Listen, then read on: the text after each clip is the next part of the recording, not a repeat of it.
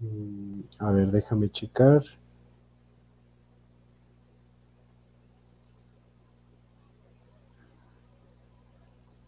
A ver, voy a buscar rápido. ¿Por qué no? A ver, ya. ¿Listo? Mm.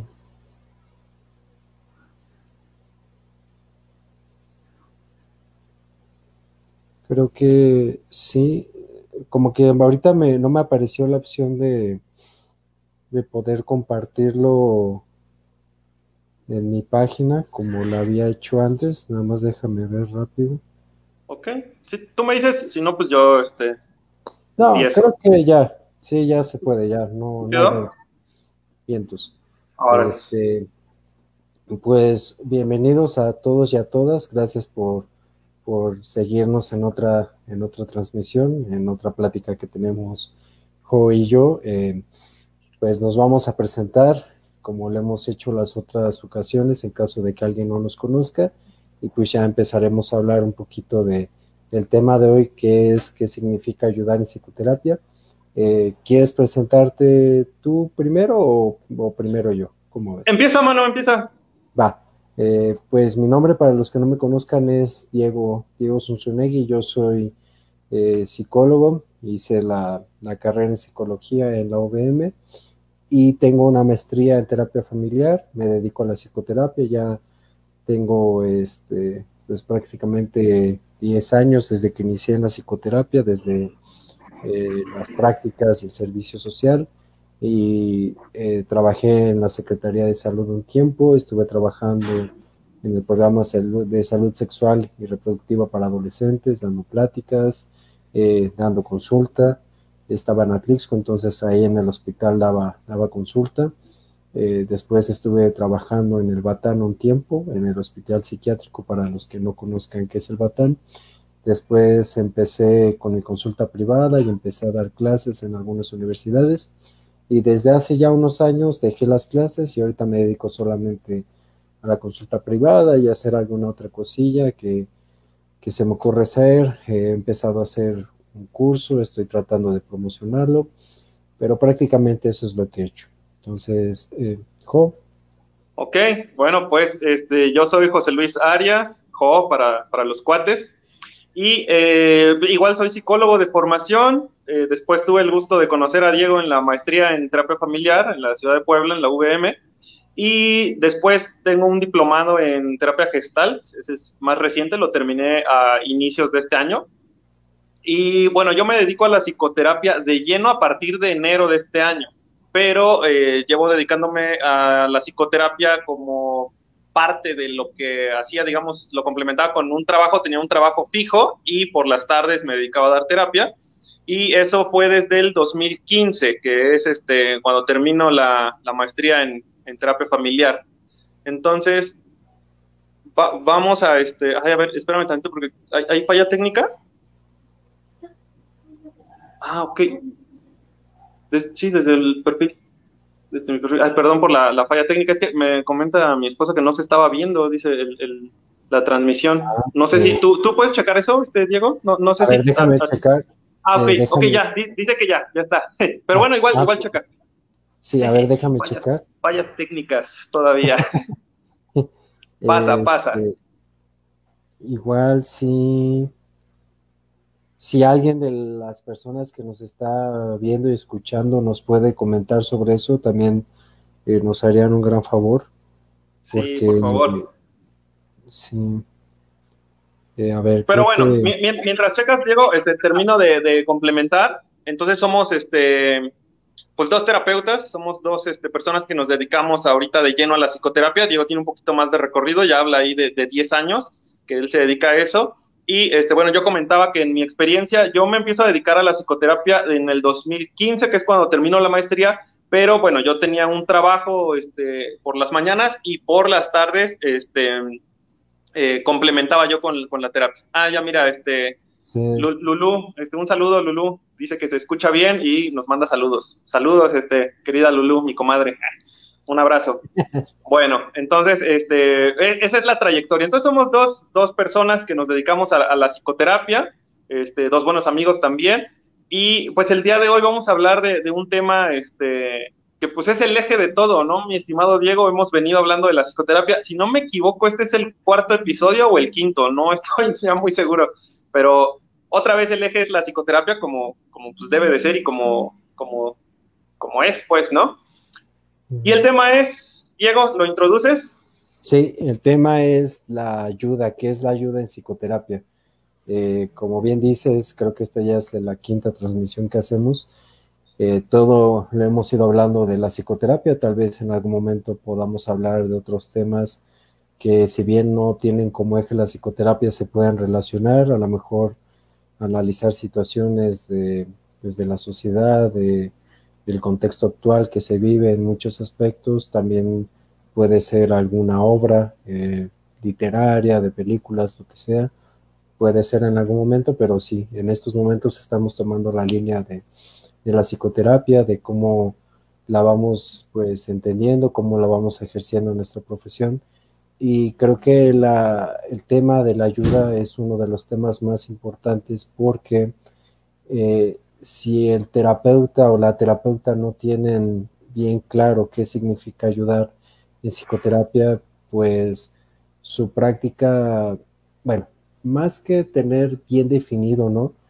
Dependiendo de cómo tenga definido qué es la ayuda para esa persona, pues se va a mover en esa dirección, ¿no? Prácticamente, pues todas las personas que nos dedicamos a esto es porque estamos en esto para ayudar, ¿no? Para ayudar como en un primer vistazo, porque no todos están en esto precisamente para ayudar, no hay quienes lo hacen por diferentes motivos, por hacer dinero, por hacerse de un hombre, por aprovecharse de las personas, por un sinfín de situaciones, ¿no? Y precisamente por eso es que queremos definir qué es la ayuda, porque cuando el terapeuta no tiene claro qué significa ayudar, entonces su práctica o su ejercicio clínico pues se va a ver dirigido hacia sus propias pasiones o hacia sus propios pensamientos, hacia lo que cree que es la ayuda, y muchas veces pues puede caer en prácticas que no son éticas o que son muy poco éticas y pues eso tiene repercusiones en la vida de los pacientes o de las personas que atiendan, ¿no? Y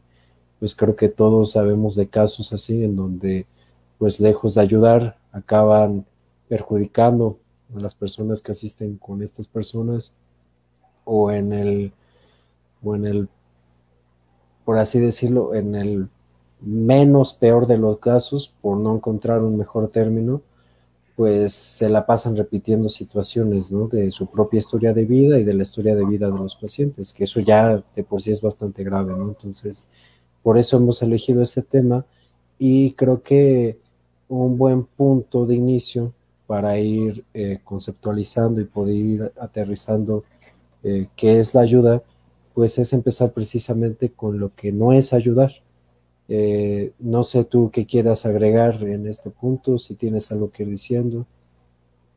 Sí, no, me parece muy bien, este mano. Yo creo que es bueno empezando por lo que no es, porque pues mucha gente se va con la onda de que sí es ayudar, ¿no? De que sí es ayudar y entonces este, se repiten estos patrones que, tú mencionas, ¿no? Este, hay veces, eh, como decías tú, en el, en el menos catastrófico de los escenarios es eh, pues una mala práctica y ya, ¿no? Pero en muchos otros tiene repercusiones este, muy, muy grandes, ¿no? Hay incluso asuntos legales que pues nunca se, se, llevan a, juicio porque pues hay también un desconocimiento, ¿no? Por parte de, los, de los clientes. Entonces es, es importante que mencionemos eh, qué no es ayudar en psicoterapia y me, me, parecería muy bueno, este, Mano, no sé qué te parezca a ti, este, como también a partir de mitos. Yo invitaría en este punto de la transmisión a las personas que nos ven, sean conocidos. Ah, Ruth, Ruth Macías manda saludos, este, es la, la tía de, mi esposa. Saludos ahí este, a Estados Unidos. Y bueno, eh, los invitaría a todos, ya sean colegas o sean, este, o, o no sean psicólogos o público en general, si han tenido experiencia yendo a terapia a lo mejor sin decir nombres, porque no es la intención tampoco quemar a nadie, no se trata aquí de, de este, o sea, esto no es un, un, show, ¿no? Eh, pero comentar su experiencia, ¿no? Y, y, a lo mejor hay algunos mitos por ahí, ¿no? Que es que si es cierto, por ejemplo, que este, si te dicen qué hacer, te están ayudando. Y bueno, yo ya introduje ahí uno de los primeros, ¿no? Que es el, el, ser directivo. Pero bueno, yo invitaría ahorita a la gente que nos escucha, ya sean colegas o, público en general que haya tenido eh, algún encuentro con, la psicoterapia, a que nos comenten. Ahí Noé Ávila, Noé es este maestro en psicoanálisis y doctor Olvidenque, perdón Noé, pero si nos puedes comentar ahí. Entonces, este, también, también ahí su aportación sería muy, muy valiosa. Manda saludos, saludos, este, Noé. Y, este, y bueno, entonces yo invitaría a la gente a que, a que comentara su experiencia de, de cómo les ha ido y, y, y sería súper importante que ellos nos dijeran, yo siento que me ayudaron porque hicieron esto y a lo mejor ya nosotros tenemos una opinión, este, pues ya de, años de experiencia que, que, nos respalda decir, ah, ok, sí fue ayuda o no fue ayuda, ¿no? O cómo lo vemos nosotros, ¿no? Más allá de también ser jueces, nuestro punto de, de vista. Pero bueno, entonces ya una vez hecha la invitación, mi estimado, ¿quieres empezar con el, el, primer punto que para ti sea muy importante de decir qué no es ayudar en psicoterapia? Eh, ¿Qué te parece si iniciamos con este que tú mencionas? Porque es uno de los que a mí también se me vienen primero a la mente, que es decirle qué hacer a las personas. Creo que uno de los mayores mitos, ¿sabes qué? Ese mito creo que es muy es importante retomarlo, irlo planteando, porque no es un mito, no es un mito actual, es un mito que ya tiene muchas décadas de existir y que nace precisamente eh, de ciertos enfoques, de unos enfoques que yo ubico que son como de este corte meramente directivo, ¿no? Que no, eh, no toman en cuenta otras cuestiones y que van haciendo como una respuesta a lo que ya hemos mencionado en, otros, en otras transmisiones, que son respuestas al psicoanálisis, al entendimiento del psicoanálisis y cómo es que se llevaban los procesos, ¿no? Cómo se llevan los procesos en psicoanálisis. Eh, lo que yo sé, y ahorita que comentabas de Noé, que nos está viendo, nos está escuchando, que es, es, psicoanalista, eh, si pudiera aportarnos en caso de que me equivoque, estaría muy valiosa su aportación. Eh, yo lo que tengo entendido del psicoanálisis es que la postura y la figura del analista nunca es de una persona que te va a decir qué hacer, es una persona que te acompaña, es una persona que te va brindando este espacio para que tú puedas escucharte, para que tú puedas asumir tu historia, para que puedas irla enfrentando, irte haciendo responsable de lo que te toca y también ir creando formas para hacerle frente a la vida, ¿no? Y lo que implica la vida, la incertidumbre, la angustia, eh, otros miedos, ¿no? Tus propios deseos, un sinfín de cosas, ¿no? Es algo muy complejo. Y ante esta postura, como el analista no te va diciendo qué hacer, si bien te puede ir preguntando, te puede ir hasta cierto punto eh, moviendo, pero no hacia un lugar concreto, sino moviendo para que tú generes tus propios movimientos, pues obviamente esto implica tiempo, implica paciencia y muchos colegas y muchos enfoques nacen precisamente porque no quieren ser pacientes, porque consideran que esta no es la mejor forma de ayudar y entonces nacen como estas contracorrientes donde el terapeuta asume un rol completamente opuesto al del analista, ¿no? Asume un rol donde se asume parte de eh, ¿cómo decirlo? Se asume como un agente de cambio, que el analista ya de por sí es un agente de cambio, ¿no?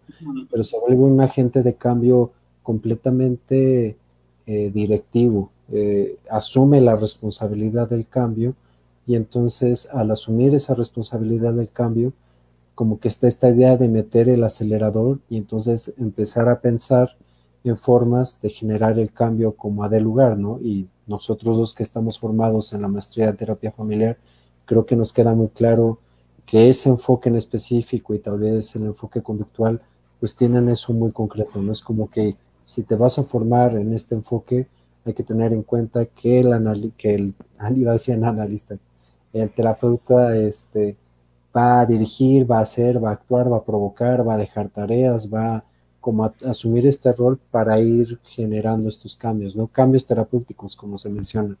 Y son cambios terapéuticos. Ah, bien. Ay, no, perdón, es que me, parece importante resaltar eso, este, y ahorita que decías de, lo del psicoanálisis o el, o el analista, bueno, eso en, términos de psicoanálisis, evidentemente, ¿no? Ya hemos mencionado, digo, para, para el público que nos escucha, que a lo mejor no es este psicólogo, ya hemos mencionado un poco acerca de los enfoques, Entonces tú ahorita, Diego, que, eh, que, lo planteas al principio, un poco desde el psicoanálisis y ya después desde la terapia familiar, que es donde estamos formados nosotros, eh, quiero rescatar, este, bueno, retomar más bien el punto que mencionas, que de por sí ya el terapeuta es un agente de cambio, ¿no? Entonces, plasmado, por ejemplo, en una pareja, por, por poner un ejemplo en donde hay más gente, ¿no? No nada más dos personas, sino en este caso ya tres, ¿no? En donde eh, llega una pareja a terapia y la figura del terapeuta ya por sí misma representa un, algo o algo diferente en ese sistema que es la pareja que en ese momento se, presenta. Y entonces el terapeuta se vuelve parte de ese sistema durante esa hora que, están este, en sesión, ¿no? Y allí hay mucha gente, bueno, yo, yo retomo esto, Diego, no sé, este, supongo que a muchos colegas les, les ha pasado, que mucha gente nos dice, ¿no? Este, o, mucha gente luego tiene la idea como de, pero es que yo, yo ya sabía esas cosas, o este, me, había encontrado con este, o, es cuando les cae el 20, ¿no? Cuando una persona externa se los dice, que en este caso es la figura del terapeuta, eh, ¿cómo, ¿cómo, decirlo? Desde la terapia gestal es como, entonces hay una toma de conciencia, ¿no? El famoso awareness, ¿no? Hay una toma de conciencia y se puede empezar a trabajar ¿no? Digo, yo ahorita estoy hablando desde, desde la gestal, pero como esta figura del terapeuta es muy importante para eso. Yo en algún momento escuché este, a algunas personas, ¿no? Como decir, si es cierto, es que lo que ya me habían dicho fulano, sultano y perengano, este, cuando me lo dijo mi terapeuta, no sé, como que me, me cayó el 20. A eso iba yo con este punto. déjame leo este, unos comentarios, este, ya no ella ya comentó algo, este, Diego. Noé dice, quizá el término ayuda es muy lejano para usarlo en términos psicoanalíticos y psicoterapéuticos. Lo digo desde la postura del profesional. Por supuesto que somos agentes de ayuda, pero a través de la orientación, acompañamiento y o técnicas de intervención. Pues creo que estamos en, la línea, ¿no? De lo que acabamos de, decir. Ya si hay algo más en específico, pues con, todo gusto, este, mi estimado Noé, aquí son muy bienvenidos tus comentarios. Ah, y bueno, también Noé dice, doctor en psicología educativa, mi buen joven. Ah, o sea, perfecto, ya, ya está la, aclaración. Este, sí, está, estás más orientado creo que a, este, a, la, cátedra, hasta donde yo tenía entendido. Y bueno, después Vero dice, saludos, ¿qué piensan de los grupos de autoayuda? Ok, Diego, vas. Eh, mira, para antes de contestar la, la pregunta de Vero, eh, creo que como para ir dando un poquito más de sustento a lo que decía, eh, nacen como estos enfoques en los que hemos estado formados pero porque muchas veces lo que yo he notado y creo que lo que muchos colegas van notando en la consulta es que las personas llegan, obviamente llegan por algo, ¿no? Llegan por una situación y hacen una demanda, ¿no? Están llegando y diciendo, necesito terapia por esta situación, ¿no? Eh, ayúdame, cámbiame, eh, resuélveme esto. Y, y creo que el problema es que muchos colegas se dejan ir por esa demanda, ¿no? Eh, se dejan ir por el querer satisfacer, por el querer cumplir esa demanda, cuando muchas veces no se puede cumplir, cuando muchas veces es necesario no cumplir esa demanda, ¿no? Porque implica asumir la responsabilidad que a estas personas les toca y eso no es ayudar. Creo que ahí es como empezar a distinguir la línea de lo que es ayudar y de lo que no es ayudar. Como y, antes de que se me pase, Diego, ay, perdón, quería aportar algo allí. Creo que ese punto que acabas de esclarecer va muy de la mano con algo que, este, que, muchos terapeutas de repente nos enfrentamos, a lo que nos enfrentamos, que es este, bueno, le voy a poner la palabra síndrome, ¿no? No, no se me ocurre ahorita, tú, tú me dirás este, eh, tu opinión, pero como con este síndrome del rescatador, ¿no? Es como de, ah, sí, claro, tú vienes, este, me demandas esto, yo te lo voy a dar, ¿no? Y eso tampoco es ayudar en, psicoterapia, ¿no? Partimos del primer punto que era este, eh, decir qué hacer, ¿no? Decirle qué hacer a alguien no es ayudar en, psicoterapia, ¿no? Y, creo yo que va muy de la mano con esto de ser rescatador, ¿no? Que es una cuestión ya más profunda de, que muchos terapeutas no, no, se dan cuenta, o, al inicio, yo también, yo comparto, ¿no? Yo al inicio no, no me daba cuenta, ¿no? Pero precisamente por eso es importante la formación, seguir en esto, ¿no? Actualizándonos, este, formándonos, claro. Y eso que mencionas es algo que Freud mencionó en su momento, es algo que eh, a mí me lo dijo mi analista en un momento, en un momento, en una sesión, yo le platicaba sobre cómo yo veía esto, precisamente lo que, lo que estamos hablando hoy, ¿no? eh, de cómo los colegas quieren hacer, y, todo salió porque alguna vez platicando con unos colegas que queríamos iniciar un proyecto y yo me salí precisamente por esa situación, una colega dijo, bueno, es que a veces cuando yo tengo un paciente o una paciente que está muy triste, pues mejor me pongo a ver una película con ella, ¿no?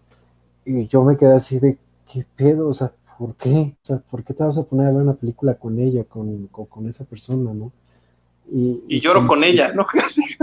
no, y al contrario, más bien era, le pongo una película para que no llore, ¿no? Para distraerla de su tristeza. Ah, y entonces, como que va de la mano con esta parte que tú dices de rescatar, de, pero es un rescatar como desde la angustia propia del, del terapeuta de, claro quiero que tú no sientas esto que a mí me da miedo sentir, entonces vamos a hacer lo posible para evitarlo, ¿no? Y muchas veces eso se confunde con un rescatar o con un ayudar, pero tiene que ver con esto que planteaba Freud, que era que, y me lo dijo mi analista en ese momento, ¿no? Es que eh, Freud decía que de lo primero que se tiene que curar el terapeuta o el analista en este caso, hablando del psicoanálisis, es de su propia gana de ayudar, ¿no? De su furor sanandis o de su furor curandis, como le quieran decir. Y de hecho hay un texto muy interesante al respecto que habla sobre cómo precisamente en estas ganas y en este ímpetu de querer ayudar, de querer rescatar, de querer cuidar a todos, pues muchas veces caemos en prácticas que no tienen nada que ver con la ayuda, ¿no? Entonces creo que ese es un primer punto como aterrizar ahí, pues muchas veces eh, como que se tiene esta idea de, si yo evito que la persona llore y si hago que todo el tiempo esté feliz y se vaya satisfecha de mi consulta, la estoy ayudando, pues la realidad es que no.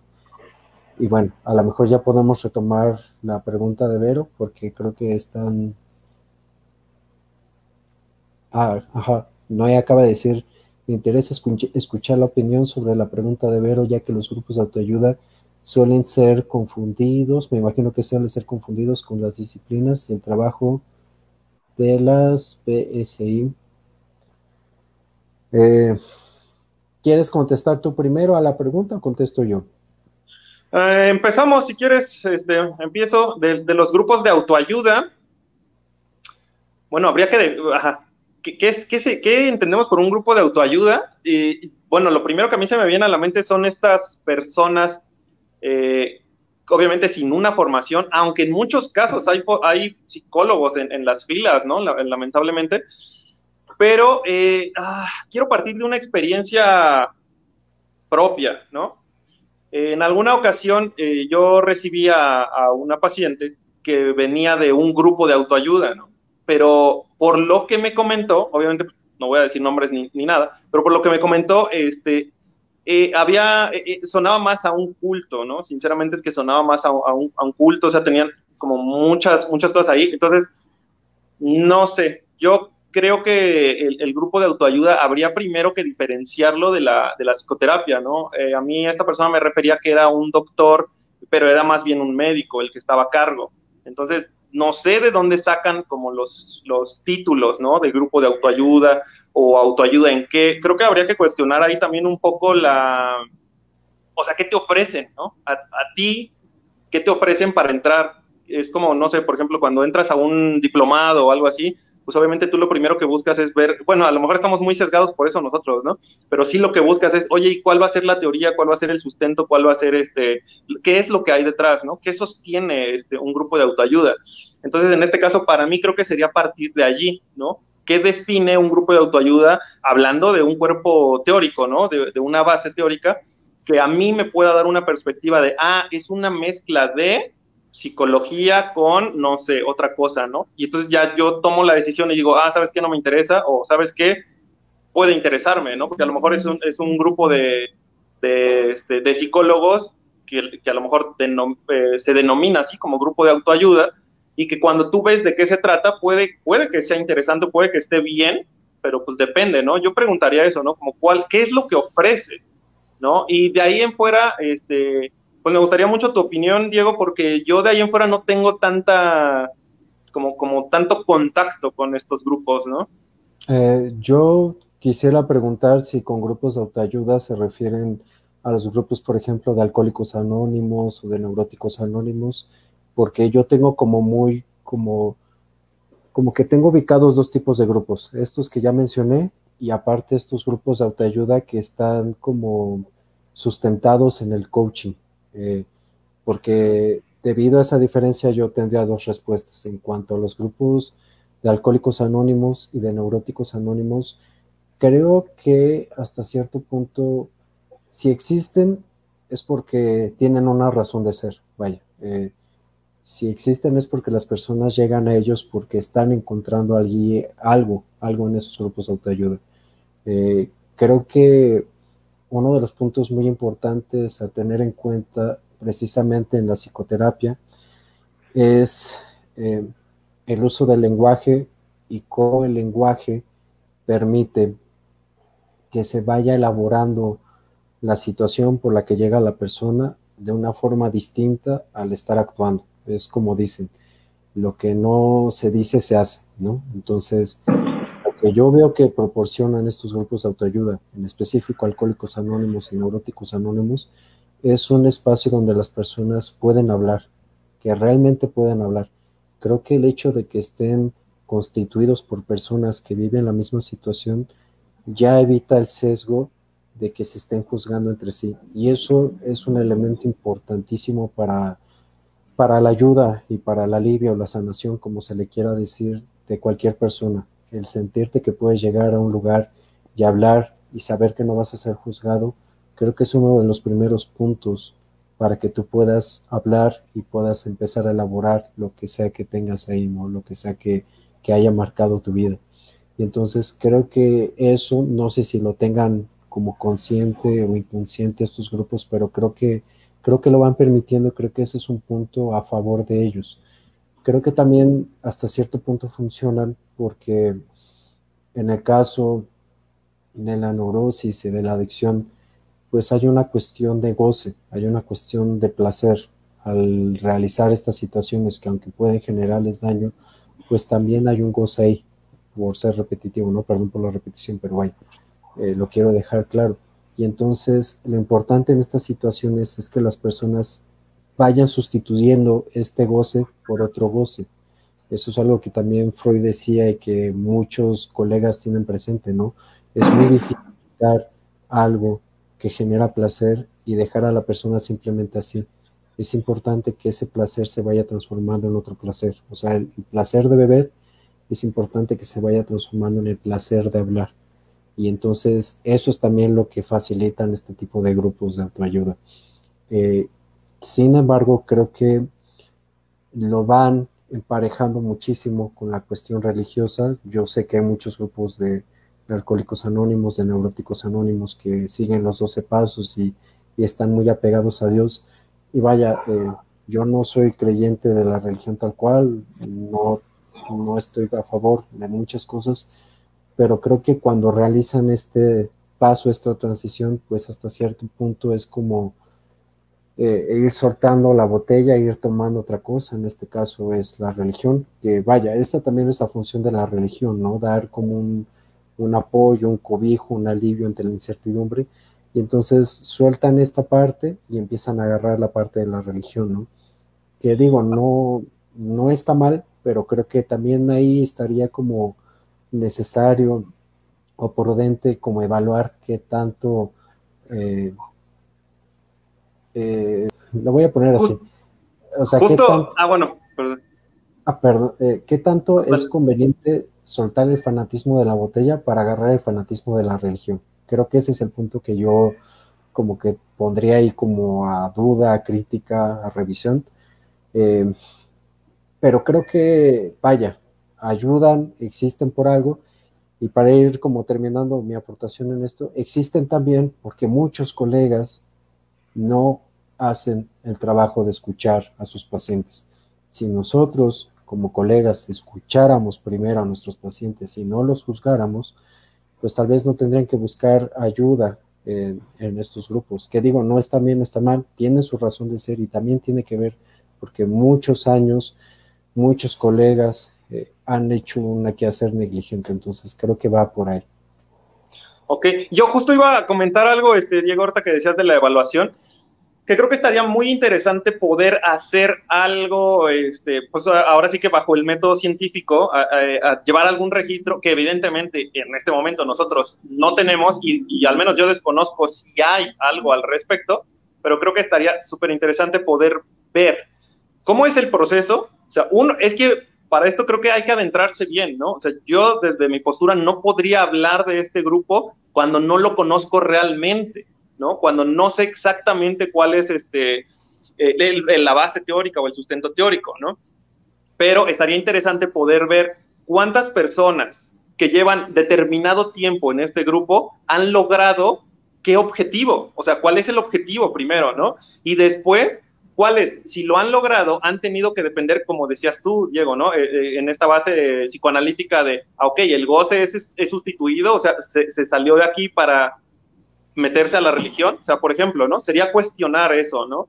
O sea, hablando en cuestión estadística, ¿qué porcentaje de, población puede este, recuperarse, si esa es la, la palabra, y, cuáles son los parámetros, ¿no? Creo que eso sería importante. Aquí ya, ya comentó este, a ver, hay varios comentarios, déjalos leo. Dice, grupos de AA donde las personas ah. no van específicamente por algo teórico, sino por la sensación de pertenencia. Ah, claro, sí, sí, definitivamente.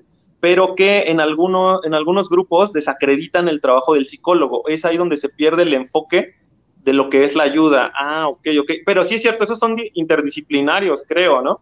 Luego Vero vuelve a comentar, no es, eh, no es religión, es la parte espiritual.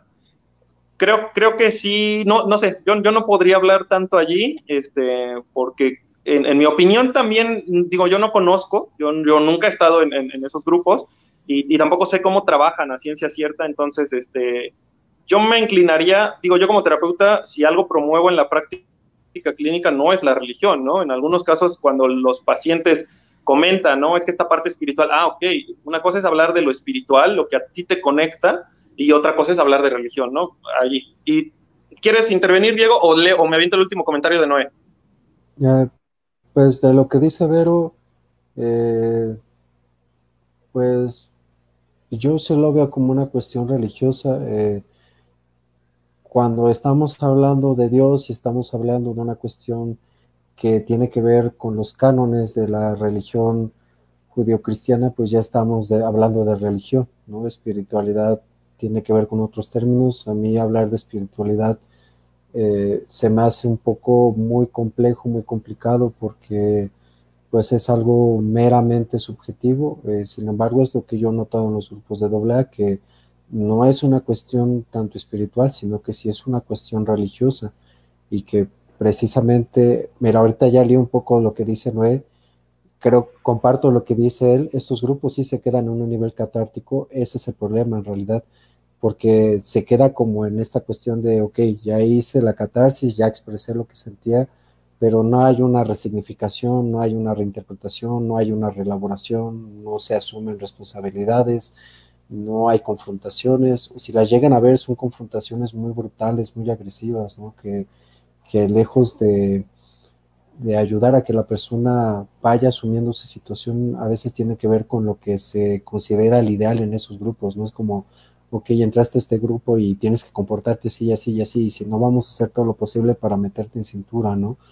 Que eso pues habla como precisamente de, de ya una cuestión, como tú decías, de culto, de secta, y pues la secta, el culto y la religión siempre van de la mano, no es como a ver, no estoy diciendo que la religión sea mala, simplemente que la religión tiene ciertas características que creo que no podemos como simplemente decir, ah, no, porque es religión, entonces es lo bueno, es lo aceptado, entonces no hay que criticarlo, ¿no? Al contrario, o sea, hay que poner el énfasis ahí. Y lo digo porque de cierta forma Freud comentaba algo similar en su libro del malestar en la cultura, ¿no? Y hace una conexión muy directa entre las relaciones de pareja, las adicciones y la religión, y que tienen un, pues una base similar, ¿no? Es como la persona no encuentra cómo enfrentar la incertidumbre de la vida, no sabe cómo enfrentar la angustia que sienta ante toda la, la cuestión del vivir, y entonces va a depositar todo o en la pareja para que la pareja le cuide, le rescate, le sane, lo que sea, o va a depositar todo en una sustancia para que lo embriague, para que le nuble la vista, para que no enfrente la dura realidad, o va a depositar todo en la religión, en la esperanza y en la ilusión de que este Dios supremo, pues a cambio de muchas cosas, te dé algo, ¿no? Entonces va por ahí la situación. Yo no o sea, yo no haría como un corte entre religión y parte espiritual. Yo no veo que lo hagan así en los grupos. Entonces, pues, es lo que podría decir.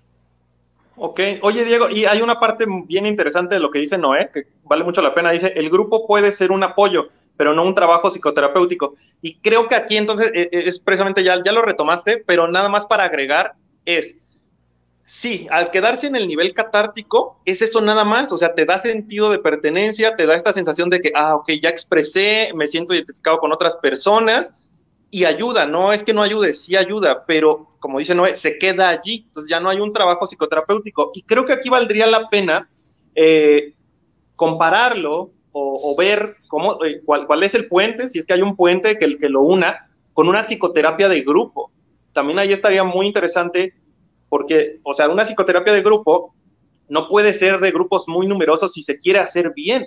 ¿no? Ah, yo tenía entendido, digo, no soy experto en terapia de grupos, pero yo tengo entendido que con un máximo de seis personas es más que suficiente para que la psicoterapia de grupo se pueda llevar a cabo bien, ¿no? Ahora, eh, pero ya tendríamos que, ya tendríamos que ver, ¿no? Ya tendríamos que ver, este, pues otros, otros parámetros, ¿no? Perdón, me distraje un poco porque entró una llamada, la tuve que, que desviar, pero este, pero es eso, ¿no? O sea, la, psicoterapia de grupo es otra cosa que creo, bueno, yo no podría hablar porque, les repito, yo no conozco tanto de, esta institución de, de AA, y entonces no sé, yo desconozco totalmente si ellos llevan a cabo sesiones o psicoterapia de grupos, y si es así, con cuántas personas y cómo estaría estructurada. Si la lleva a cabo un profesional, o sea, un psicólogo que esté especializado en eso y demás, no dudo que pueda que pueda ayudar y pueda ser diferente, siempre y cuando, en mi opinión, el grupo se mantenga pequeño, ¿no? Y, bueno, ahí me encantaría también la, opinión de Noé, porque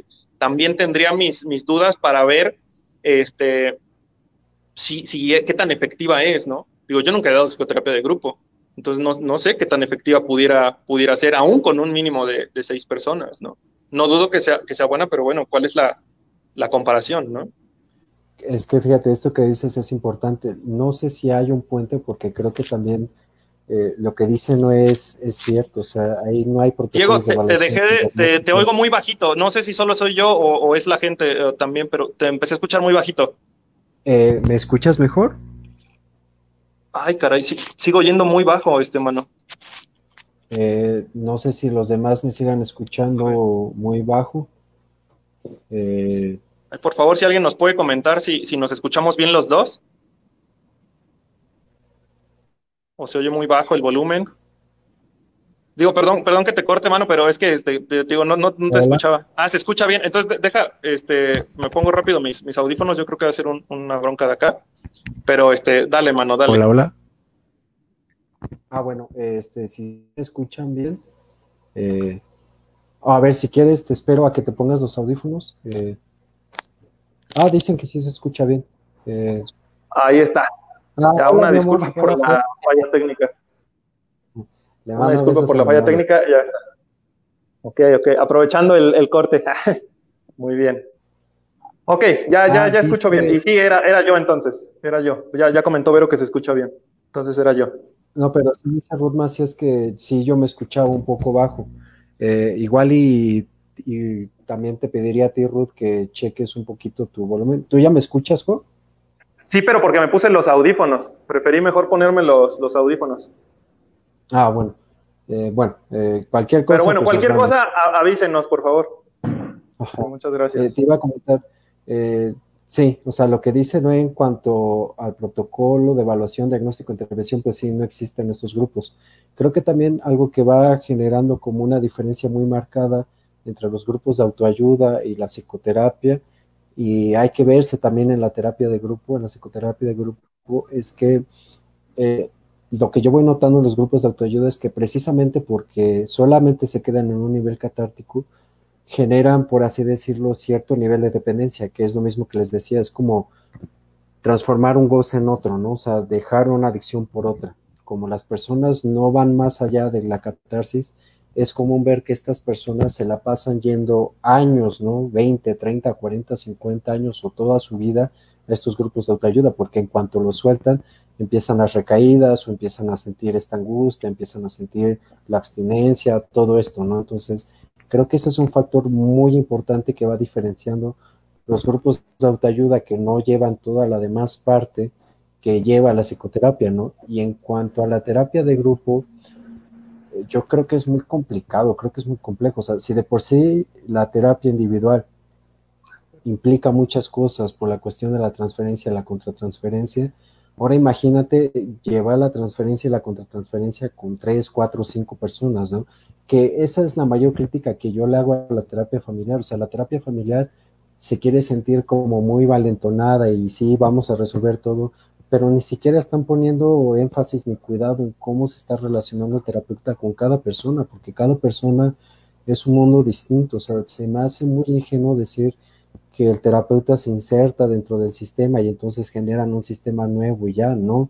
La realidad es que sí, hay un sistema familiar, pero cada persona es un individuo y dentro de ese individuo hay un mundo psíquico, intrapsíquico, consciente y inconsciente que genera toda una cuestión de transferencias y entonces el terapeuta tiene que estar pendiente de todo eso, tiene que estar pendiente de su propia contratransferencia. Imagínate ser eso con una persona, imagínate hacerlo con cinco o seis personas al mismo tiempo. Yo sí pondría en tela de juicio, en tela de duda, eh, qué tan efectiva en realidad son las, las terapias de grupo, ¿no? Yo me acuerdo que, que llevamos la materia en, en, la maestría precisamente, llevamos constelaciones, yo soy constelador, eso es lo que también yo noto en constelaciones. Las constelaciones tienen un alcance diminuto, es mínimo.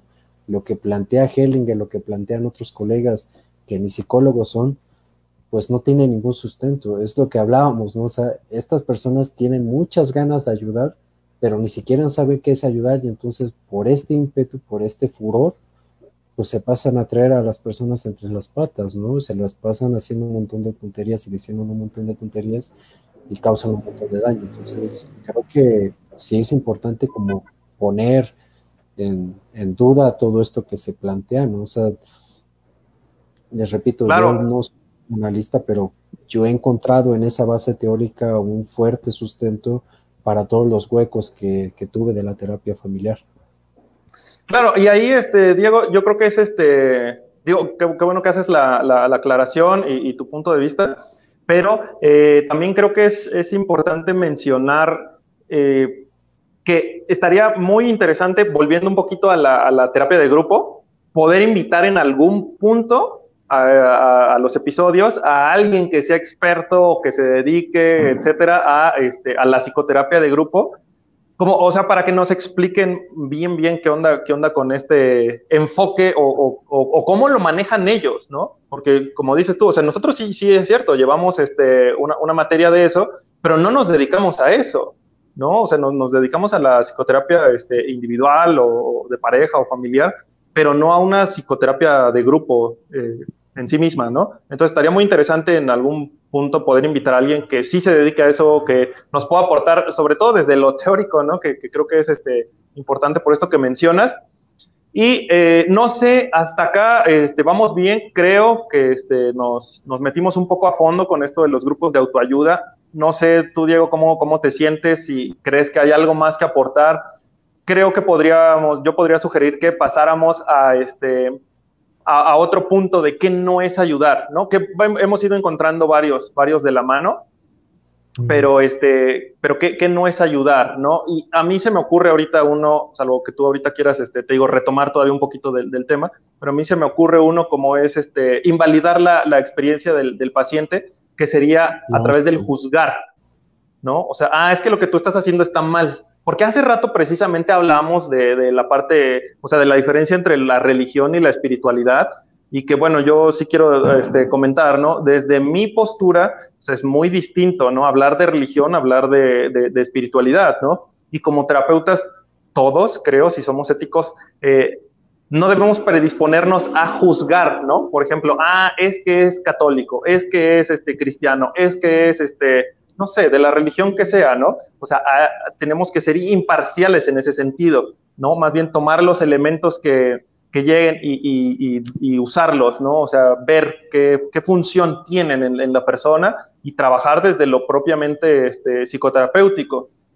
Entonces ahí nada más hacer esa, como esa diferenciación y, retomando, este, pues hay veces que el terapeuta les toca, y me, encantaría que nos pudiera comentar alguien, este, a lo mejor sea psicólogo o no, que, hayan tomado algún proceso, si en algún punto algún terapeuta les ha dicho o, se han sentido juzgados por un terapeuta, ¿no? Porque creo que esta es otra de las formas en las que no se ayuda al paciente, ¿no? Cuando el terapeuta juzga si algo, si una conducta es buena, si una conducta es mala, si, si, si vaya hasta con los gestos, ¿no? Como, mm, ¿no? O, con este tipo de, cuestiones y el terapeuta no las tiene trabajadas, pues eso no es ayudar. Juzgar a un paciente no es ayudarlo. Sí, eh, creo, bueno, no tengo nada más que aportar sobre lo de grupos, salvo que haya, ah, a ver, Vero comentó algo, dice, la ah, terapia en grupo ayuda a que el otro se identifique con lo que los demás dicen. Se enchalecan, dicen ellos, pero claro, lo deben revisar después en algo individual. Eh, pues sí, o sea, creo que entrecomillado, yo concuerdo poner eh, esa palabra, ayuda entre comillas, porque está por verse si de verdad ayuda, o sea, que se estén identificando entre ellos. Eh, a lo mejor les ayuda a darse cuenta de algo, pero también es importante que, porque esta cuestión de la identificación también puede ser una cuestión proyectiva, también puede ser una formación reactiva, pueden ser una cuestión de mecanismos de defensa que a lo mejor lejos de pues de ayudar refuerzan ciertas cuestiones, ¿no? Entonces, pues yo lo dejaría así como, pues es cuestión de ver, como tú dices, podemos invitar a alguien a ver qué nos dice. Yo tengo muchas reservas con respecto a este tema, pero precisamente por lo que comentaba, entonces, eh, si no hay más dudas al respecto, creo que mm, yo no tengo nada más que decir. Eh, ya retomando lo que tú dices, creo que sí es importante hablar de la cuestión de, juzgar, ¿no? Muchas veces, eh, yo te lo puedo contar desde mi propia experiencia, ya lo comenté aquí en algún momento, yo me sentí muy juzgado por varios de, los de los y de las terapeutas a las que asistí, que inclusive fueron nuestros profesores, creo que ya comenté la vez que yo llegué con una, precisamente con una terapeuta y y ¿cómo se llama? Ah, perdón, es que acaban de escribir algo. A ver, dice, desde mi experiencia, Noé, desde mi experiencia, no ayudar es tratar de dirigirte solo con un enfoque hacia el paciente y desechar el trabajo multidisciplinario en términos psicoterapéuticos. Sí, creo que de cierta forma eh, los colegas que se casan con su enfoque y tratan de ver a las personas desde el enfoque, pues sí, no ayuda, ¿no? Creo que la cuestión aquí es, pues, que el terapeuta tenga la flexibilidad, ¿no? Y más que nada que empiece primero escuchando eh, la historia de la persona, porque podrás saber mucho de cualquier enfoque, ¿no? Gestal, existencial, terapia familiar, psicoanálisis, lo que sea, pero de nada va a servir si no escuchas primero a la persona, ¿no? Si no escuchas primero su historia, porque si no la escuchas no vas a saber qué decir, no vas a saber qué técnica utilizar y muchas veces hasta saber cuándo callar, ¿no? Muchas veces eh, por este ímpetu de querer ayudar y de hacer lo que dice el enfoque, lo que dice el libro, lo que dice el autor, pues simplemente haces, haces, haces y, nunca escuchaste a la persona, ¿no? Creo que voy a poner un ejemplo como muy claro que creo que podemos identificar todos eh, ¿Te acuerdas de la película del Guasón, la que salió hace poco, hace como tres años, con Joaquín Phoenix? Ajá, sí, sí, sí. Hay una escena que a mí se me hizo, eh, que es la escena central de toda la película y, creo que le hace una crítica muy dura a la sociedad y en específico a nuestra profesión, porque él va a, sesiones con una terapeuta, él va, o sea, él nunca estuvo... Eh, por así decirlo, flotando en el aspecto de que no buscó atención, él buscaba atención, él buscó atención, él se acercó a un profesional, una profesional de la salud, me acuerdo que era mujer, su terapeuta, entonces me acuerdo que en varias escenas él llegaba, fumaba, y ella le hacía la entrevista así como, ¿y cómo te sentiste? ¿Y tuviste pensamientos negativos? Eh, ¿Cuántos, no? ¿Y cuáles? Y, ah, bueno, hay que trabajar esto, casi, casi echarle ganas, ¿no? Eso es apegarse precisamente al enfoque, no al diagnóstico. Eh, y hay una parte en donde él está como ya muy desesperado y, y, en medio de la entrevista le dice, es que tú no escuchas, tú no me escuchas, nadie me está escuchando, ¿no? Y creo que ese es un punto muy importante, o sea, eh, independientemente de nuestra postura filosófica, de, nuestro, de nuestra postura del enfoque, de lo que pensemos, inclusive si nos agradamos como colegas o no, y de lo que podamos decir, si no escuchamos primero al paciente o a la persona que está llegando con nosotros, no vamos a hacer nada. Yo he visto en infinidad de foros, de podcasts, de videos de YouTube, que la gente se pasa preguntando, ¿y cómo ayuda a esta persona con depresión? ¿Y cómo ayuda a esta persona con ansiedad? ¿Y qué hago para que me sienta mejor? ¿Y qué hago para? ¿Y qué hago? ¿Qué hago? ¿Qué hago? ¿No? Y todo el mundo da un montón de técnicas y da un montón de cosas que hacer y qué no hacer y que si... perdón que te interrumpa, Diego, pero nos, nos, regresamos al inicio, ¿no? O sea, es que entonces me estoy dejando, estoy cayendo en la demanda de tengo que sacar al paciente de allí. Sí. Y, que viene muy de la mano con el echaleganismo que acabas de, mencionar también hace un, rato. O sea, estamos bien clavados, creo, como sociedad en general. Digo, obviamente también como terapeutas, el, gremio creo que este, nos hace falta mucho, creo, este, porque como dices tú, hay, hay foros en donde está, yo me voy a atrever a decirlo así, ¿no? Yo creo que sí hay muchos foros de psicología en donde el echaleganismo es como, ahí está, ahí está el parche, ¿no? Y creo que hace falta más sentarse a profundizar, oye, no es eso, ¿no? O no es eso este, lo, que tenemos que, hacer, ¿no? Sino hacer una, una crítica muy dura, creo yo, hacia la formación de los terapeutas, ¿no? Que de hecho fue con lo que empezamos estos episodios, ¿no? O sea, ¿qué formación debe de tener el psicoterapeuta para que pueda eh, ejercer éticamente o ejercer adecuadamente porque entonces, si no, digo, retomando el punto, para hilarlo, es eso. O sea, nos estamos dejando llevar por la demanda del paciente y nos angustiamos, ¿no? O sea, hay, veces en las que, o sea, te angustias y dices, ¿cómo lo saco de ahí? Y, en qué momento eso se volvió este, la demanda, ¿no? Yo creo que sí es, eso precisamente es no ayudar. Cuando el terapeuta se deja enganchar por la demanda del paciente de que tiene que salir de ahí, pues le empiezas a facilitar todo. Y entonces es una muy mala praxis del terapeuta. Sí, y como tú dices, tiene que ver con la angustia del terapeuta. O sea, creo que hay que dejar en claro que este oficio y esta profesión no se puede realizar sin la angustia. No hay manera de que el terapeuta escuche cuestiones de abuso, de violencia, de adicciones, de violaciones, de pobreza, sin sentir angustia, sin sentir dolor, sin sentir rabia, enojo. O sea, eh, no puede ser, no es posible. O sea, eh, eh, la profesión implica eso, implica exponerse al dolor, implica sentir el dolor, implica sentir todo esto. Y entonces cuando empezamos a sentir la angustia de esto, empezamos a sentir la incomodidad, empezamos a sentir este desagrado, pues muchos colegas es lo que te decía, ¿no? Pues córrele a ver, a ver qué me invento, a ver qué hago, a ver qué película a ver. Y entonces... Y llenar esos huecos que tú decías. Ándale, ¿no? Eso vuelve como una como una pared de humo para dejar de ver, pero todo nace por la cuestión del no escuchar. O sea, es, inmediatamente como, como la persona empieza a hablar y como tú dices, muchos colegas empiezan a juzgar de, pero ¿por qué hiciste eso? Eso está mal, no, no te debes de sentir así, o échale ganas, o te voy a dejar estos ejercicios de respiración, o, este, o cada vez que tengas estos pensamientos, bórralos, bloquealos, o y repite este mantra, o sea, como, como si fuera una cuestión de magia, una cuestión de esfuerzo. Y la realidad es que muy, muy poco, si es que casi nada de la psicoterapia implica un esfuerzo. O sea, en realidad implica otras cuestiones. Implica un asumir, implica un enfrentar, implica un hablar, implica un escuchar. Y creo que desde ahí nace la verdadera ayuda. O sea, para saber cómo ayudar, primero tengo que escuchar y la escucha implica exponerse a todo eso que mencionaba, implica lo que tú mencionabas, ¿no? Escuchar sin juicios, escuchar no porque yo tenga cierta postura con respecto a la política, a, la sociedad o con respecto a la religión, quiere decir que me voy a dejar llevar por mis pasiones.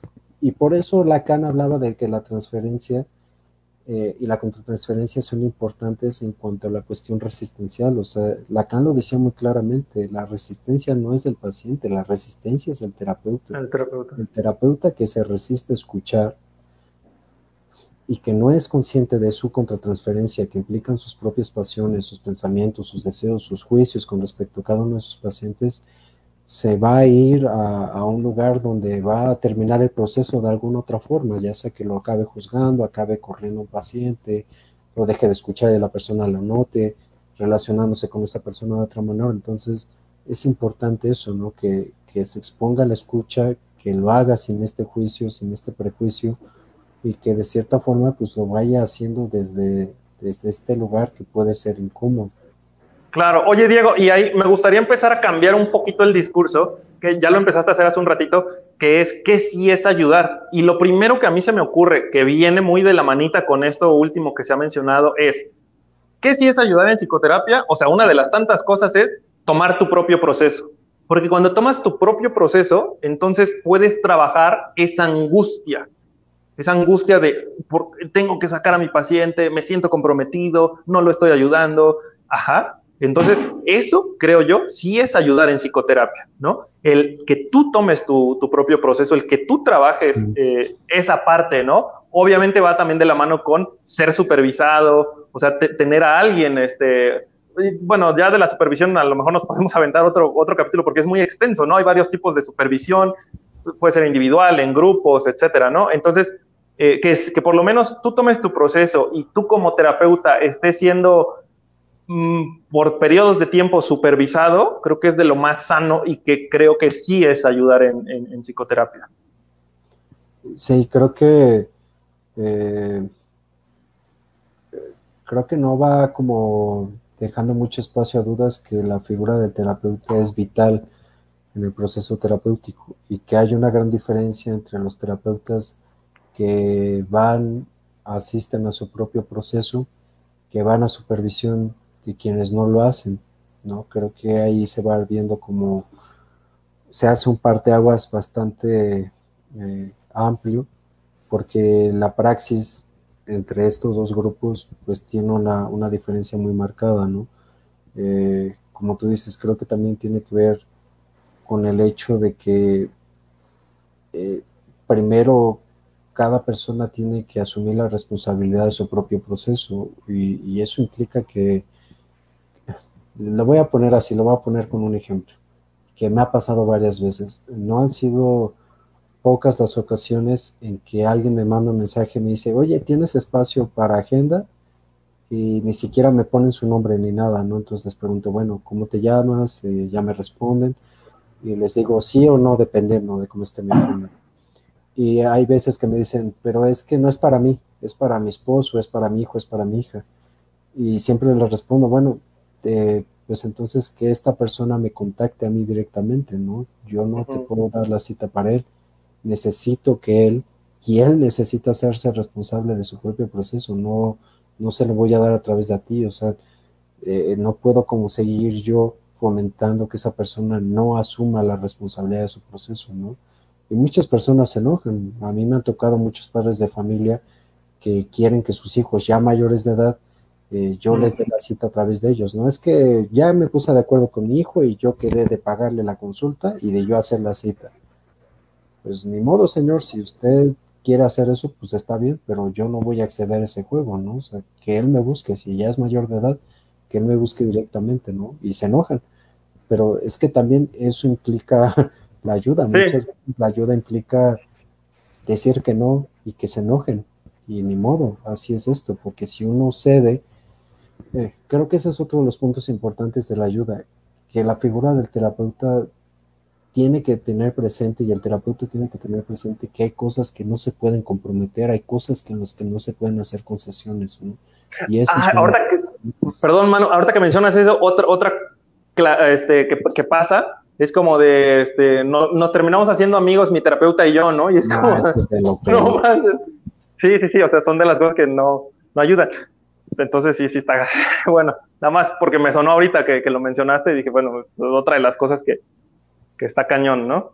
Sí, y, y, como tú dices, o sea, eso también ya tiene que ver con el hecho muy, muy claro y muy, eh, que me parece que es de lo que se tiene que tener más determinado, es la relación del terapeuta.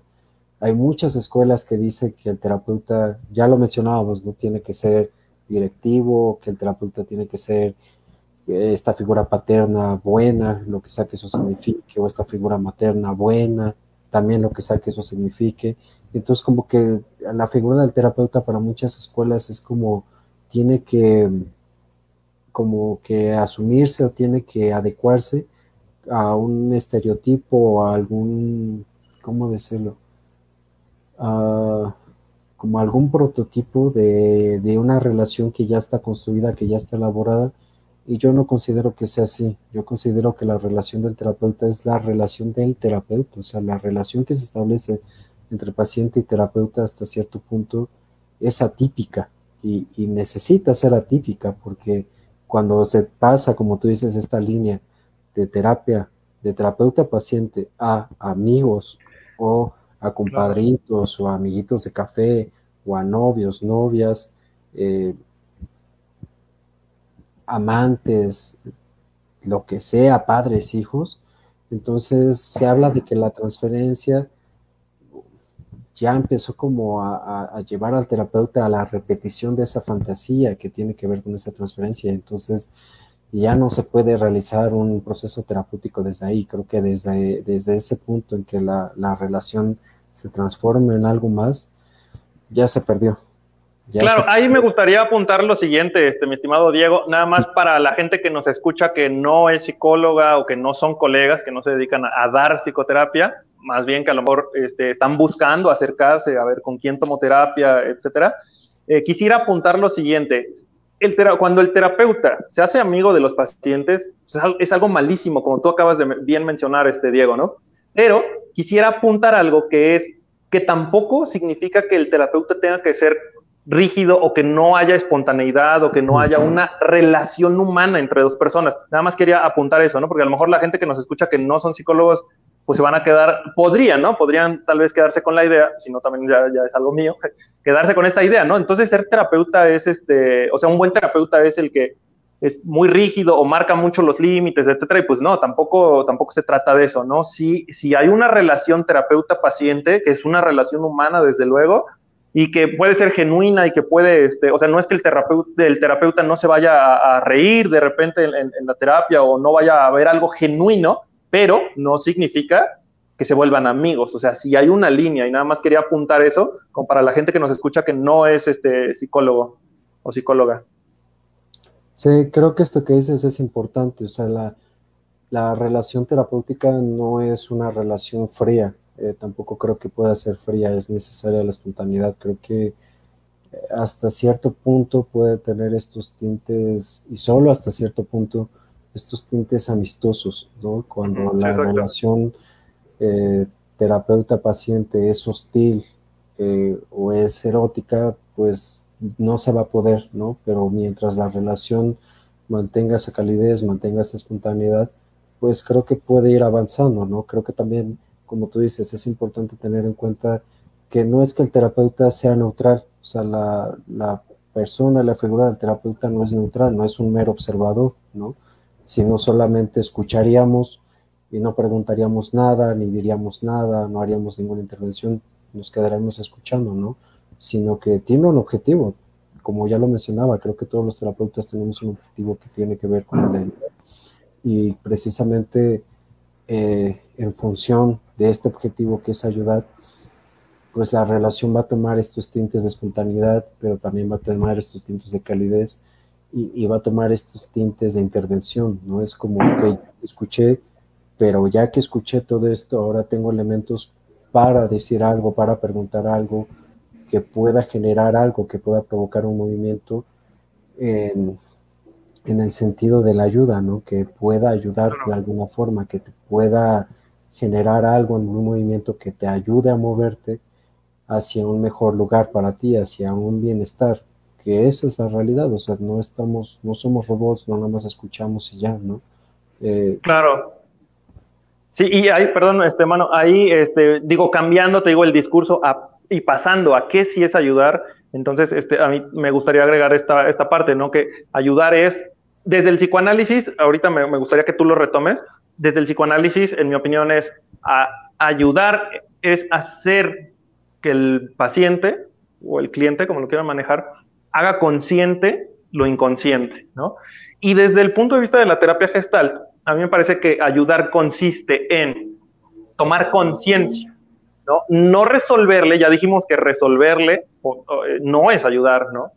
Sino desde la terapia gestal, este sería esta parte de que la persona se dé cuenta, ¿no? Y, dándose cuenta, él, puede entonces, a través de la psicoterapia, a través de, esta toma de conciencia, generar sus elementos para él salir o ella salir de ahí, ¿no? Si es que lo desea, ¿no? Porque también muchas veces nos empeñamos como terapeutas en tienes que cambiar, ¿no? Haz esto, haz aquello. No, no, no, no. Y entonces es, te decía, desde el psicoanálisis para mí es hacer consciente lo inconsciente y desde la gestal sería que el paciente o que la persona se dé cuenta. Y dándose cuenta es qué quiero hacer con esto, ¿no? La persona, pero no el terapeuta. Eh, como tú dices, creo que ahí va de la mano la cuestión de la libertad, ¿no? De la libertad propia, de la libertad personal y de lo que eso implica.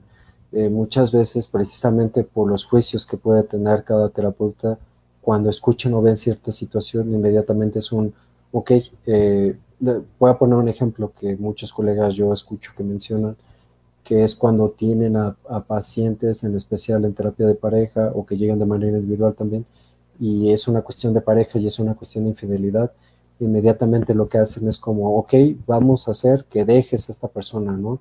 si tú, fulanito, fulanita, eh, fuiste víctima, porque muchos lo dicen así, de que tu pareja te fuera infiel, entonces ahora lo tienes que dejar. Y no, no tiene que ser así, ese es un prejuicio y es un juicio de ese terapeuta, ¿no? Como tú dices, es una cuestión de checar, pues, qué fue lo que pasó, cómo es que sucedió, cuál es la responsabilidad de cada una de las partes y pues pensar, ¿no? ¿Qué es lo que quiere cada persona ahí? O sea, muchas veces una infidelidad retomando este ejemplo, no es sinónimo de que la pareja termine. Muchas veces implica, pues, como toda una reestructuración de la pareja, de las propias expectativas, de las ilusiones, y muchas parejas pueden continuar juntos, ¿no? Y, eso es algo que le toca decidir a cada quien. Y precisamente, por eso están en terapia. Exactamente, ¿no? y por eso la importancia de la ayuda y, del, poder entender qué es la ayuda, ¿no? La, ayudar no es decirle a la persona ni qué está bien, ni qué está mal, ni qué hacer, ni qué no hacer, sino es brindar un espacio donde se escuchen, escuchar su historia, asumir su historia y puedan decidir lo que es mejor para ellos. Y en ese decidir lo que es mejor para ellos, como tú dices, ¿no? Crear nuevas formas para enfrentar la vida que le lleven pues a una vida más, más llevadera, de mejor calidad y, pues que de cierta forma asuman lo que eso implica, ¿no? O sea, si se quedan, si se van, eso es algo que ellos tienen que decidir, no podemos decidir por ellos, ¿no? Y creo que así implican muchas situaciones, ¿no? Eh, cambios de ciudad, duelos, por ejemplo, ¿no? No sé si te acuerdas tú, yo me acuerdo muchísimo de una clase de Servando que nos dijo, a ver, chavos, eh, ¿cuánto tiempo tiene que, y fíjate, nos lo dijo en una clase de, terapia centrada en soluciones, que es de la mano de terapia breve, ¿no? Nos dijo, a ver, chavos, ¿en cuánto tiempo se tiene que resolver un duelo, ¿no? Según el DSM5, según lo que han aprendido. Y me acuerdo que todos dijimos, no, pues en dos años, ¿no? Y nos dijo, ah, mm, muy bien. Y si ahorita se les muriera su padre, su madre, una persona que aman, ¿en dos años van a superar esa pérdida? Y me acuerdo que todos buscamos así de qué pedo, ¿no? Como, como que nos metió un cachetadón con guante blanco. Y como que eso creo que nos ayudó mucho a reflexionar y decir, no es cierto, o sea, no se puede, ¿no? O sea, ¿quién va a poder superar la pérdida de una persona a la que aman con lo más profundo de su ser en dos años, ¿no? Y él nos dijo, tienen que aprender que muchas cosas no se resuelven, que muchas cosas no son un problema y que muchas situaciones van a quedar marcadas en la vida de las personas toda su vida, ¿no? Ante la pérdida, ¿qué se resuelve? Pues nada, ¿no? Ante la pérdida a lo mejor lo que se puede hacer es aprender a vivir con esa pérdida, con esa tristeza, con ese dolor.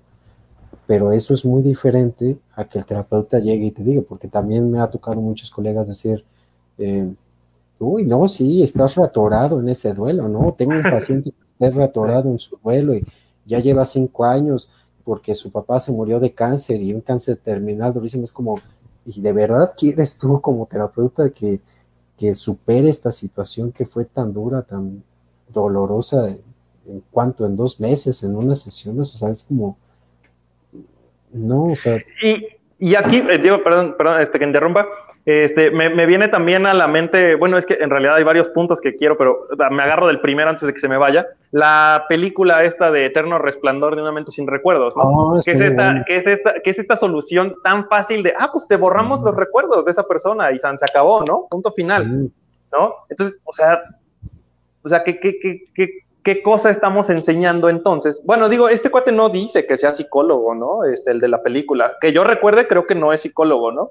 Pero, o sea, es la solución fácil. Y, es, yo me atrevería este, a compararlo un poco como con el coaching o con las cosas que te ofrecen como soluciones mágicas, porque sabemos, digo, yo te comenté por ahí de, un caso de un colega que este, era, era bueno, ¿no? Pero, o sea, era, era buen terapeuta, pero de repente es como esta cuestión de, no, es que este, yo ofrezco esto, ¿no? Yo te voy a solucionar tu problema, ¿no? Tú tienes que venir conmigo porque yo te voy a solucionar la vida. Y dices, no manches, o sea, eso no es la, la, psicoterapia, ¿no? Eso, eso no es ayudar definitivamente. Pero tomé de la mano esto del eterno resplandor de esta película, que estaría chido, luego, luego hacemos un, análisis, estaría muy chido. estaría muy bueno. Un, episodio de eso. Y, este, y, y es eso, ¿no? O sea, la solución fácil es esta, que va de la mano con lo que tú decías, ¿no? ¿Cómo se supera? Porque yo creo que ahorita a lo mejor para la gente que nos escucha y que no es psicólogo o que no es, terapeuta, o a lo mejor va a decir, oye, entonces no se supera y se crean como estas cuestiones de, entonces nunca lo voy a superar y, pues no, en terapia nosotros ayudamos o este, enseñamos, guiamos a que eso es algo con lo que hay que aprender a vivir, ¿no? A que eso es algo que, que, que supera, y habría que plantear o replantear cuál es la definición de superar algo, ¿no? Y entonces, este, yo ahí lo, llevo de la mano con lo de la peli que te digo, ¿no? ¿Qué es superar a alguien? Por ejemplo, ya no en el caso de un duelo de, que alguien se murió, ¿no? Sino en el caso de un duelo de la pérdida, de, la ruptura de una pareja, ¿no? ¿Qué es superar? ¿No? O sea, la, salida más fácil es eso, borrar, borrar los recuerdos. Yo me acuerdo que hace, perdón, nada más para acabar este, este punto, hace muchísimo tiempo, creo que estábamos en la, creo que en la maestría ya estábamos, y este, una amistad este, me, me dijo, ¿no? Este, te reto a que borres un recuerdo de, de, mi mente, ¿no? Y yo me acuerdo que le contesté, no, pues yo te reto a que aprendas a vivir sin, sin, esa, sin esa persona, ¿no? Porque se refería a una persona, ¿no? Y este, ya, pues obviamente, pues por la amistad que sí era muy, muy cercana, pues no podía yo ser su, su terapeuta, pero nada más le contesté ahí el comentario, ¿no? Pero perdón, ¿qué, qué ibas a, a comentar, Diego? No, que ese ejemplo que utilizaste a mí se me hace muy bueno porque la película creo que hace una metáfora muy, muy bien, bien hecha, muy bien elaborada de cómo las personas precisamente quieren evitar el dolor olvidando, no es como que ya esta persona a la que amo muchísimo terminamos porque la relación se volvió todo esto, esto, entonces no puedo soportar este dolor, mejor lo olvido.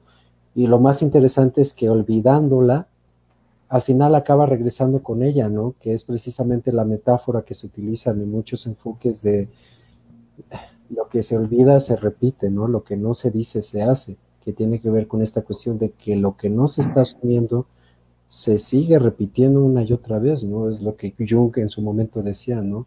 Estás destinado a repetir una y otra vez la misma historia hasta que te hagas consciente de esa historia, ¿no? Y ser consciente, por un lado, implica saber qué es lo que pasó, pero complementando lo que tú decías, tal vez la palabra no sea superar, sino la palabra sea asumir, ¿no? El asumo, asumo esta parte de mi historia que a lo mejor no me gusta, que me da pena, que me da vergüenza, que me da miedo, angustia, lo que sea, pero la asumo, la vuelvo parte de, lo, de mí, la vuelvo parte de mi historia, tan simple y sencillamente porque me ha dejado una huella, me ha dejado una marca, ¿no? Y, creo que es lo que pasa en la película, ¿no? Esta relación los marca los dos, intentan olvidarse de ella, pero acaban regresando precisamente porque hay algo ahí que aunque intenten borrar en lo más profundo de ser, permanece, ¿no? Y eso que permanece es ese motor que lleva y que va moviendo a las personas, ¿no? Es, es si mal no recuerdo, es lo que Lacan decía el goce, ¿no? El goce es el motor que mueve nuestras vidas, ¿no? Es eso que nos va llevando hacia que también tiene que ver con el deseo, con otras partes. Entonces creo que sí es importante que el terapeuta, los terapeutas tengamos presente eso, ¿no? Que ayudar no es ni olvidar, ni acelerar, ni, ni decir que está bien o que está mal, o que hay tiempos para y que la persona ya se le pasó el tiempo y entonces ya está bien patológica la situación, como dicen muchos colegas, ¿no? Eh, al contrario, creo que otra parte de ayudar implica ser paciente, que ya lo habíamos mencionado, ¿no? O sea, Ajá, sí lo hemos venido mencionando mucho, pero sí vale la pena siempre retomarlo. que, o sea, al primero que le toca ser paciente es al terapeuta. Si el terapeuta no es paciente, entonces, pues nada va a pasar, ¿no? O sea, se va a llevar por el furor, que es lo que mencionaba Freud, de querer curar, de querer sanar. Y, no es una cuestión de paciencia pasiva, ¿no? Creo que muchos colegas como que malentienden la paciencia como lo que decía, ¿no? Como que muchos creen que solamente es escuchar y quedarse quieto y, y no decir nada, no. La paciencia tiene que ver con el saber escuchar, con llevarse el tiempo necesario pero para saber intervenir y saber en qué momento intervenir y saber reconocer qué cosas se pueden solucionar, qué cosas no se solucionan, qué cosas se asumen. O sea, es, un proceso de tiempo. Pues mi estimado Diego, eh, creo que ha sido un, un, tema muy interesante. Por ahí este, tomamos bastante tiempo para lo de los grupos de autoayuda, pero qué, bueno que salió. Siempre es... Eh, muy, muy buena la interacción con, con el público. Me falta leer un comentario de, de, Noé, ahorita lo leo. Este, pero ¿cómo ves si vamos este, cerrando? Digo, han salido un par de películas interesantes que, ya, ¿te acuerdas? Lo habíamos comentado en, en privado este, o fuera de, de, de, cámaras, como esta posibilidad de hacer un análisis de alguna película y entonces este, presentarlo también. Pues, por ahí le podemos dejar a la gente, ¿no? Este, ya le haremos saber cuál es el, el siguiente tema y si en una de esas es el análisis de una película, pues ya les comentamos con tiempo, véanla y la comentamos en vivo este, nosotros y pues ya obviamente vamos leyendo los comentarios, ¿no? Pero, este, pero bueno, ¿cómo ves? Vamos haciendo este, ya una conclusión para cerrar, ya para, para este, darle cierre a esto del día de hoy. ¿Te late? Sí, por mí está bien que si quieres, este... Eh, ah, mira, ay, perdón, perdón, dice Noé, leo los dos comentarios porque ya escribió dos comentarios Noé. Eh, dice Noé, este, la psicología evoluciona, es accidental y actual, ayudar también es prevenir y la figura de la prevención se amolda antes de un sentido de responsabilidad. Y su siguiente comentario es, inviten para la próxima y con gusto participamos. bueno, yo me imagino que la transmisión, ¿no? vamos a hablarlo con, él fuera de, de, cámaras, a ver si podemos armar ahí, ahí algo.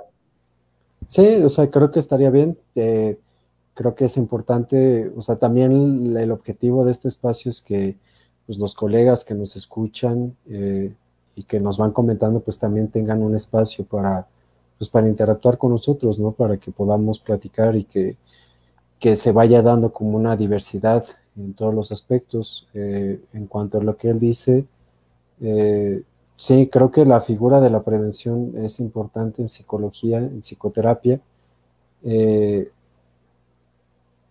No sé, a ver, déjame leerlo bien. Dice, la psicología evoluciona, es accidental y actual. Ayudar también es prevenir y la figura de la prevención se amolda antes de un sentido de responsabilidad.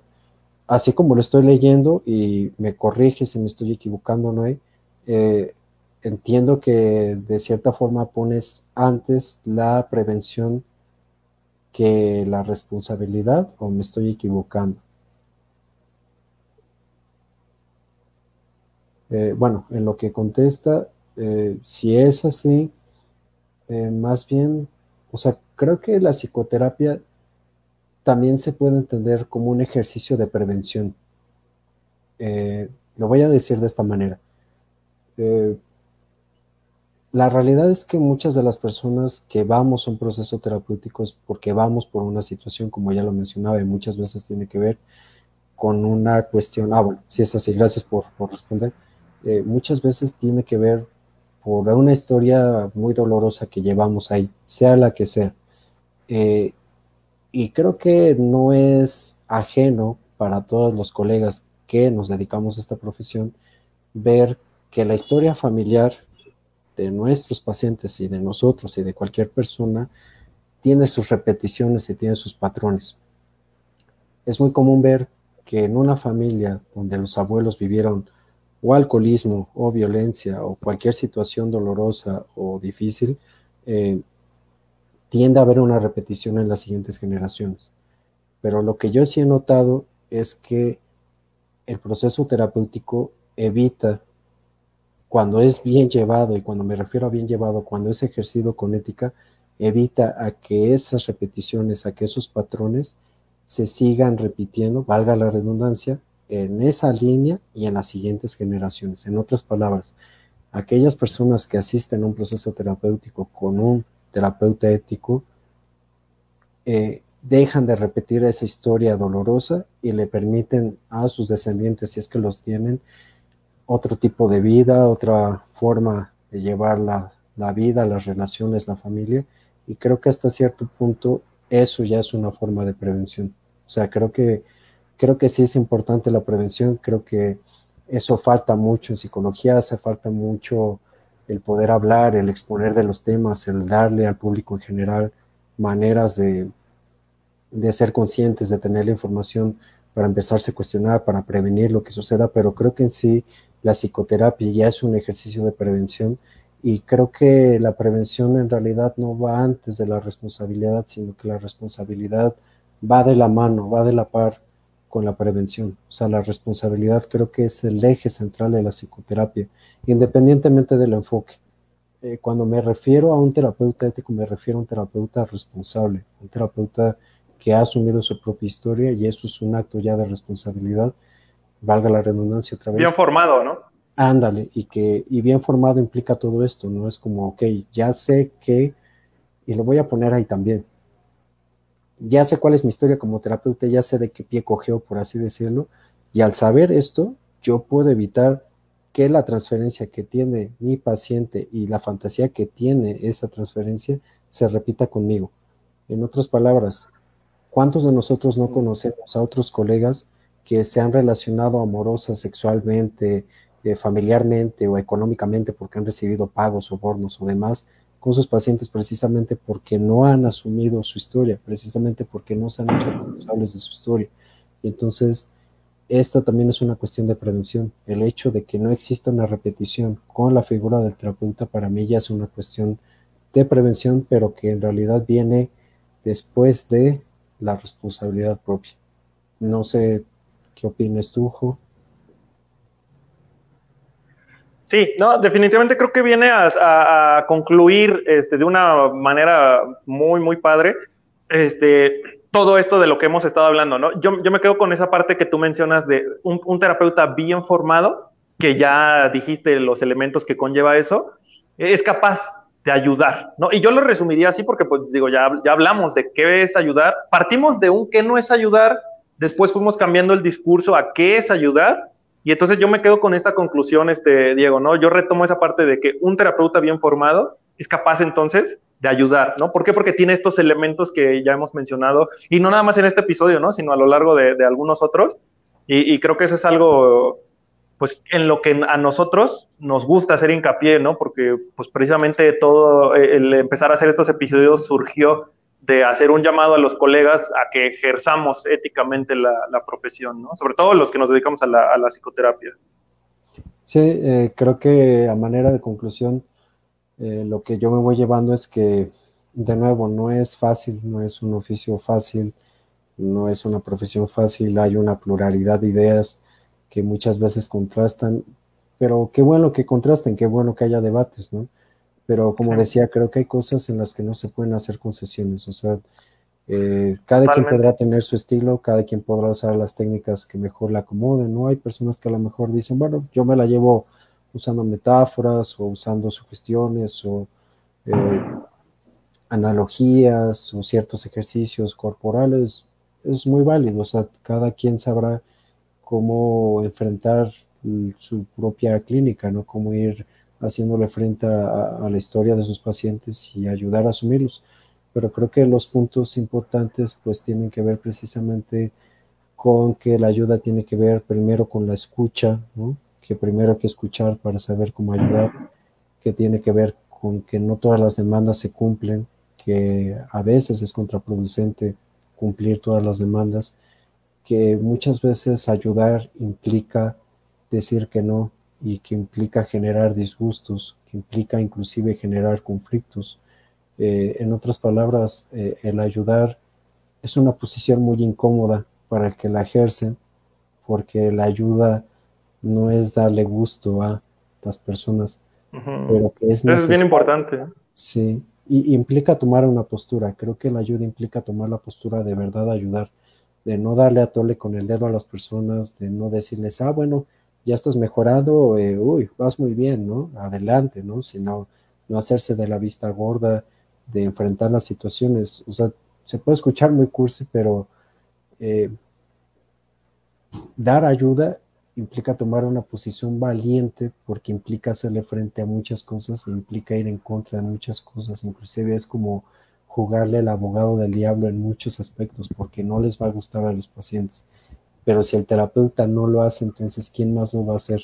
Y por eso les decía, eh, la postura del terapeuta es una postura atípica, la figura del terapeuta es atípica porque si no se ubica en ese lugar, no va a poder hacer lo que le corresponde. Entonces, eso es lo que yo iría concluyendo con, con respecto A, esto. Perfecto, mi estimado. Pues aquí Noé nos, nos pone un comentario que decía que hacía referencia a comentarios anteriores eh, cuando se sacó el tema de, las, de que las consultas las hacían los hijos, etcétera, y luego dice, pero bueno, lo dejamos pendiente. Coincido totalmente, yo creo que hay que cerrar ya el, episodio para no alargarlo más, y este, pues ya ahí les haremos saber cuál es el siguiente tema. Yo también ya aporté ahí un poquito de, la conclusión, nada más para retomar este, bueno, no, no, ya sí, ya, ya, ya dije, ya di mi, ya di mi conclusión, ya, ya. Tú también ya diste la tuya, Diego. Vamos a cerrarlo, ¿no? ¿Te late? Sí, me late. Órale, dejamos pendiente, ahí estén, esténse, este, eh, valga la redundancia, esténse al pendientes para ver cuál es el siguiente tema, este, pues ahí déjenos sus, comentarios también, aunque no, ya no fueron en vivo, pero háganos saber este, de qué otros temas les, les gustaría hablar y pues bueno, espérennos muy pronto de, regreso. Pues Diego, un gusto como siempre, cuídate mucho, mi estimado. Cuídate mucho, saludos a todos, ahí nos vemos. Cuídense, cuídense, bye. Bye.